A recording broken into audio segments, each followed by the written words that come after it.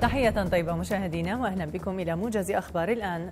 أفاد مراسل أخبار الآن بخروج الدفعة الخامسة من حي الوعر في مدينة حمص باتجاه مدينة جرابلس في ريف حلب بعد أن عرقلت قوات الأسد خروجهم لعدة ساعات بسبب التدقيق الأمني على أمتعتهم.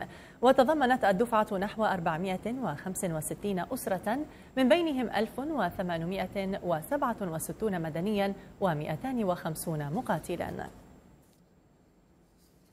أعلنت مصادر عسكرية عراقية أن القوات الأمنية الحكومية تواصل تقدمها من المحور الغربي لمدينة الموصل مع التوغل في الأحياء المحيطة بجامع النوري في إطار المعركة لتحرير المدينة من احتلال داعش. وقال قائد الشرطة الاتحادية رائد شاكر جودة إن 60 فردا من داعش قتلوا. قتل أكثر من 18 فردا من ميليشيا الحوثي وصالح في مواجهات شرسة مع القوات الشرعية وضربات لمقاتلات قوات التحالف العربي في محيط معسكر خالد في مديرية موزع غربي تعز خلال الأربع والعشرين ساعة الماضية.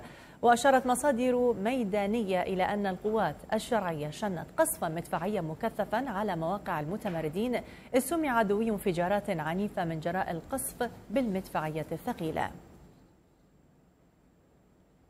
قال مايك بنس نائب الرئيس الأمريكي اليوم إن كل الخيارات مطروحة على طاولة النقاش فيما يتعلق بالتعامل مع كوريا الشمالية، لكنه أضاف أن الرئيس دونالد ترامب عاقد العزم على العمل مع اليابان والصين وكوريا الجنوبية للتوصل إلى حل سلمي.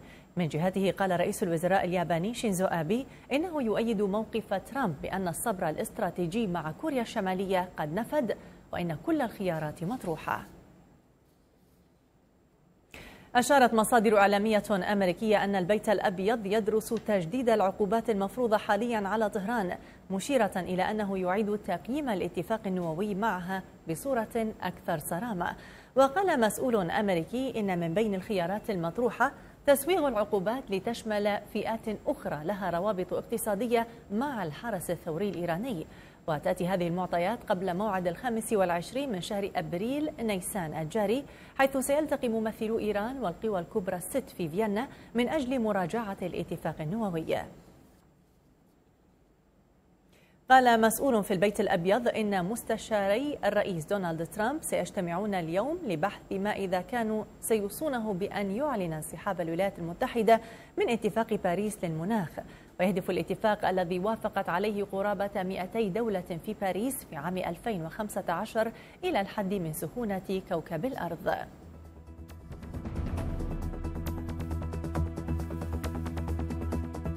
نهاية الموجز في أمان الله.